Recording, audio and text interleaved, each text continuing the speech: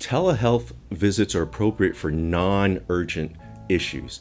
So, uh, a rash, refill medications, uh, certain musculoskeletal issues that uh, patients having, we could probably have a 80 to 90% certainty that that's what's going on. Um, uh, discussion of uh, abnormal labs, discussion of diet and exercise for depression, anxiety, insomnia. So these types of uh, uh, visits are very appropriate for, for telemedicine.